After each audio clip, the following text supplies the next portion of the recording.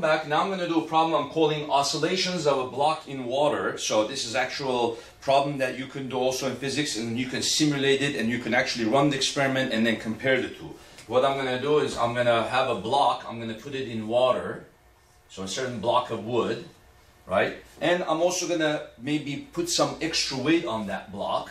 So the block already has a certain mass, and then I'm going to add a certain weight to that uh, block. Then I'm going to push the block a little bit in water.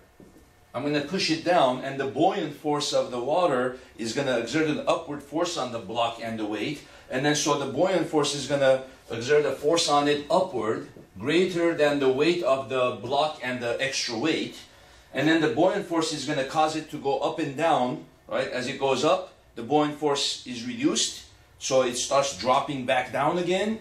And then it's going to go back up, it's going to go back down. So it's going to bob up and down with a certain frequency. And we're going to calculate the frequency of oscillations of that system, right? So let's see what the setup of this is you have the, uh, the buoyant force on the uh, block minus the weight of the block is equal to the mass of the block times the acceleration, right? So what is the buoyant force of the block? Well, uh, the buoyant force on the block is the density of the water plus the volume of the portion of the block that is submerged inside of the liquid, right? So this is, uh, this is we can call V prime times gravity.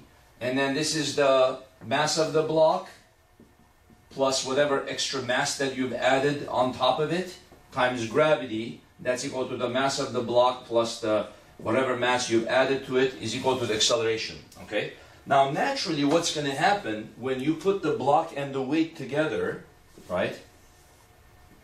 So naturally the block and the weight, they're to go, they're to submerge down to a certain uh, height, right? H prime, down to a certain height, and then it, it, will be at equilibrium. Now, if I push an extra amount, what's causing the bobbing up and down is that I'm to push this down an extra amount. So I'm to call that extra amount x, right? So I'm going to push it down an extra amount x. That's going to increase the buoyant force, right? So the V prime is going to be the sum of the natural uh, height that it's submerged under the water, its natural equilibrium height, h, right? Um, we can call this one either h prime or h. So the density water, V prime, is going to be what? h plus x, the extra amount that I push down, right? Times the cross-sectional surface area of the uh, the cube of well, the the piece of wood, right? The cross-sectional surface area, A times gravity minus mass of block plus mg is equal to mass of block plus ma.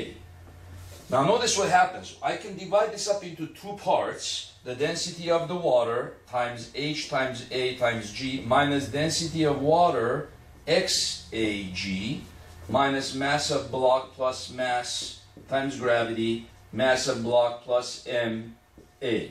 Right? So I'm going to argue that the density of the water times the natural height that it would have sunk, right, without me giving the extra push, this h times a times g, this is actually equal to the mass of the block plus whatever mass I put on it times gravity. This and this are equal because that's the whole definition of the h. The h is the natural height that the block and the extra weight would have sunk under the bottom, right? And then it would have been at equilibrium at that point. So this cancels this. So you just have this expression is equal to mb plus ma. Okay, so then I can take this to the other side. 0 is equal to mb plus m a plus density of water ag times x. Then I'm going to say a is the second derivative of x, right? Because the x is going to be changing over time as this goes up and down, right? So then I'm going to say we have here 0 is equal to mb plus m, the second derivative of x with respect to t, plus density of water agx, right? So what is basically happening, as the buoyant force exerts a force up, it's starting to go up, but as it's starting to go up, the buoyant force on it is decreasing, right? So then after it reaches, after it passes the equilibrium point, this is the equilibrium point, right? After it passes that, the block goes up here. What happens? The buoyant force on it is less than the weight of the object, right? Because at the equilibrium point, the buoyant force and the weight are equal. That's why we were able to cancel these two, right? When at its natural height. Once we pass that point, the buoyant force is less than the weight, and then it starts to decelerate and then come back down, right?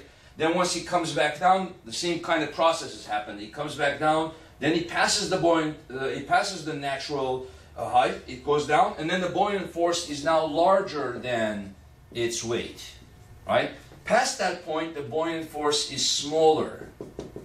It's smaller than its weight, so the weight wins. So it accelerates, decelerates, and then, and then the opposite happens on its way down. Accelerates, decelerates, then accelerates, decelerates. So basically it goes up and down with a certain period of motion, right? So then we can now use the block uh, frequency example. We have 0 is equal to m d squared x dt squared plus kx. This is the equation for a block making simple harmonic motion with a spring. And we can say omega is equal to square root of k over m, and the period is equal to 2 pi square root of m over k. All right, well, in our case, uh, the period is going to be what? 2 pi. The m is replaced by whatever is in front of this, so the mass of the block plus the whatever extra mass I put on it.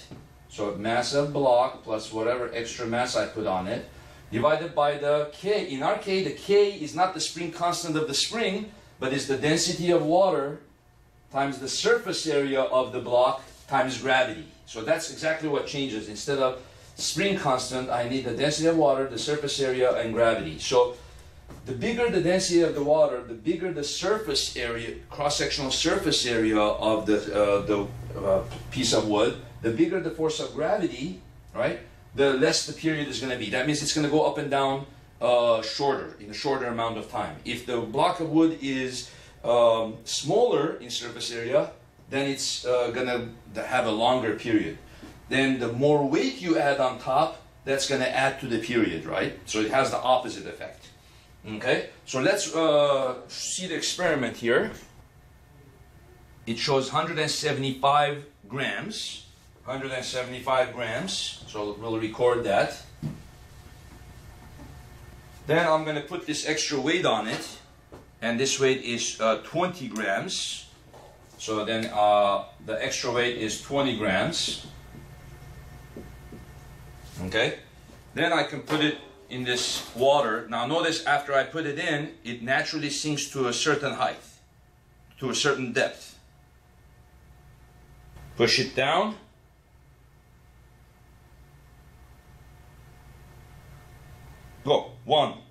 Three, four, five, six, seven, eight, nine, ten. 4, 5, 6, 7, 8, 9, 10. Okay? So the oscillations are not with a very large amplitude. So I got 4.14 seconds. 4.14 seconds. 1, 2, 3, 4, 5, 6, 7, 8, 9, 10. 4.15 seconds. Let's say the time was 4.15 seconds. The period is going to be 4.15 divided by 10 because that was the time for 10 oscillations. So 0.415 seconds. This is the experimental. Okay? So then what would the theoretical period be? So the we, put, we would put the theoretical period 2 pi. The mass of the block would be 175 grams changed to kilogram, 0.175. The mass of the extra mass I added, 0.020 divided by density of water, which is a thousand kilogram per cubic meter. So I'm staying in units of metric units, so everything has to be kilogram. I'm not using the one gram per cubic centimeter density of water. I'm using thousand kilogram per cubic meter. Now I need to measure the surface area of the block. So measure the length. That's gonna give me, length is 9.6 centimeter, right? 9.6 centimeter. So convert that to meter, 0.096 meter, right? Then I'm gonna measure the width, which is gonna be seven centimeters, pretty much seven centimeters. So 0.07 meter. Notice how the units of this works. This is meter and meter, so it's meter squared.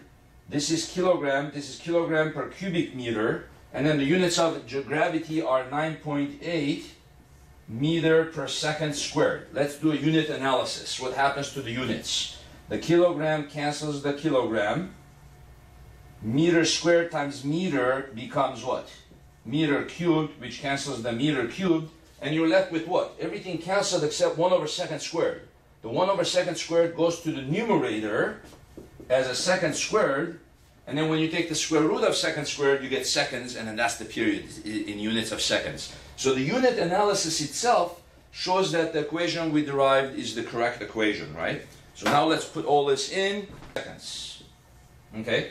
So the answer I got is a little bit more than that. I probably had a reaction error, uh, error reaction time, because it, since it's going fast, it's taking me time to react to the, the motion of the block, and then I'm, I have to look at that and I have to press uh, stop. But since it's so uh, fast, by the time I'm pressing stop, some more time has elapsed. So I'm a little bit over the theoretical, but very, very close. So you can see that it did come out pretty good, um, that the period did come out to be about the same as the experimental. So then my percent error will be, okay, so not bad. Now what if I didn't have the extra mass on there? Would that change things a lot? Well, you would kind of get rid of this thing. The bottom would stay the same. So then the theoretical period should be quicker, right? So it's going to be. So the extra weight did add about um, 0.02 seconds to the period, right? So what if I did the experiment again with just the block? Let's see if I would get a better result. Block. Ready, set, go. One, two, three, four, five, six, seven, eight, nine, ten.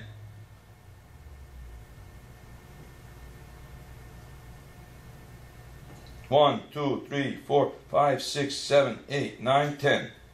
I'm getting 3.89 seconds. So 3.89 divided by 10, I'm getting point, uh, 0.39. Okay? So I'm getting, for this one, I'm getting T experimental about 0.39 seconds. So I'm getting shorter period than this by about 0.02, but it's still uh, larger than the T theoretical, perhaps for, uh, due to my reaction time. So you see that the idea is working, and uh, that this shows you how to calculate the period of oscillation in something in, in a liquid, right? So instead of water, if we had mercury, what would happen? The density of mercury is a lot bigger, 13,600, right? So then the period is going to be a lot faster if you put it in a thick fluid, okay? So you can see how to do problems like this. Thank you very much.